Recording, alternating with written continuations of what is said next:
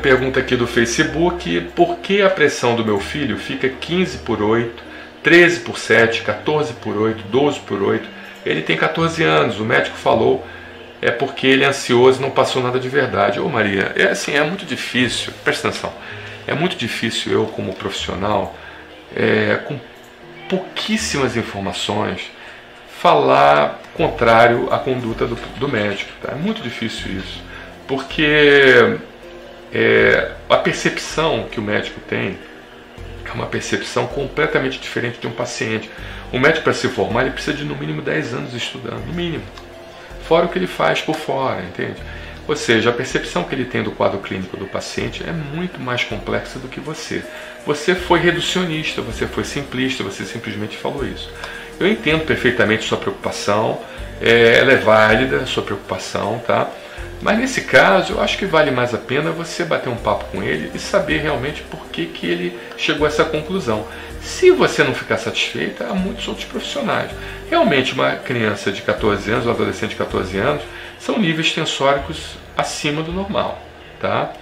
Acima do normal. Então a gente precisa avaliar isso com mais atenção, com mais profundidade, ver se tem alguma alteração hormonal, se existe algum outro problema mais específico que esteja causando esse problema, se ele está tomando algum remédio, está fazendo uso de alguma outra substância que possa estar aumentando a pressão dele. Mas é muito difícil nós tentarmos lhe ajudar e dar uma informação precisa, tá?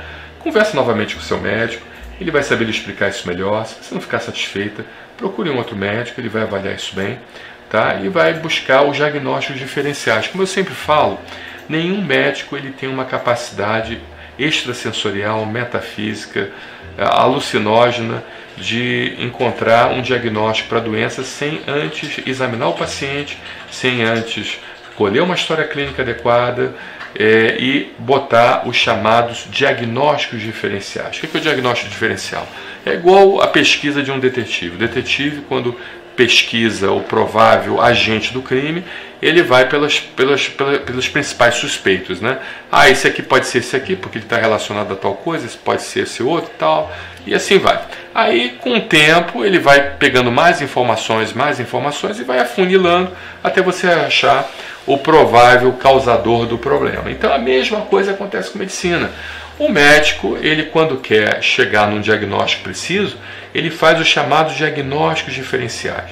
E a partir dali ele pega os diagnósticos mais prováveis e vai afunilando, vai pedindo exames, vai conversando aqui, conversando ali, pegando mais informações, analisando, passando medicamentos, fazendo provas terapêuticas, até ele chegar no provável quadro diagnóstico mais adequado, tá bom? Então é por aí. Tá? Procure um médico que faça os diagnósticos diferenciais do seu filho, que certamente você vai saber o que está acontecendo e vai ficar com o coração mais tranquilo.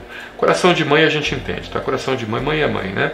Então seu coração deve estar realmente inquieto, ansioso e eu acho que agora a gente tem que chamar um pouquinho o papai, né? E o papai ser um pouco mais, talvez, é, um pouco mais, é, como é que eu vou dizer, mais analítico, né? É, com menos emoção e tentar buscar agora uma resposta menos emocional e mais técnica, tá bom? O homem ele tem essa capacidade de contrabalançar um pouco a emoção da mamãe, que é muito bonito isso, e os dois se complementam, né? A racionalidade do pai e o emocional da mamãe, tá bom? Um abraço, obrigado pela sua pergunta.